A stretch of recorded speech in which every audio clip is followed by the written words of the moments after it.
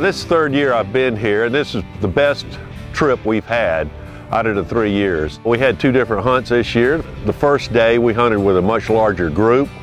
That was incredible the first day. I've never seen so many birds flush at one time in my life. We saw a thousand birds easily, easily. We love coming back to the Grand Lodge because the staff and the quality of the hunt. We've been doing this for years now.